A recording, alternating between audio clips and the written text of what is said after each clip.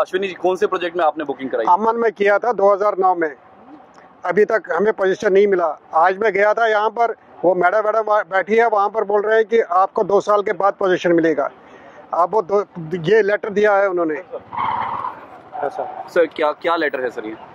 ये लेटर है कि आपका जो पोजीशन मिलेगा दो साल के बाद मिलेगा। 2019 में हम देख लेंगे आप दे सकते हैं कि नहीं दे सकते वो भी एक्सपेक्टेड डेट वो एक्सपेक्टेड डेट है।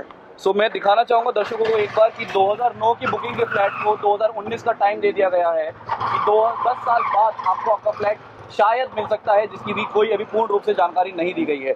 सर और इस मीटिंग के अंदर आज क्या क्या बातें हुई? किससे आपकी मुलाकात हुई? हमें मैडम से बात हुई है वो पहले तो सुनना नहीं चाहती थी हमारी बात। फिर हमने उसको स्वीकार दिया आपके मेल पर भेज दिया आपको ये किया वे किया। मैंने कहा नहीं we want something in writing फिर उन्होंने ये राइटिंग में दे दिया हमें। मैंने कहा किसी सीनियर लोग से बात कराओ कोई मतलब जो प्रोपरेटर है यहाँ पर मिस्टर गॉड साहब है ये चीज़ है उससे बात कराओ। बोल रहे वो नहीं मिलते हैं किसी से भी। जो भी आपको करना है आप कोर्ट में जाइए आप कहीं भी जाइए। Don't speak us much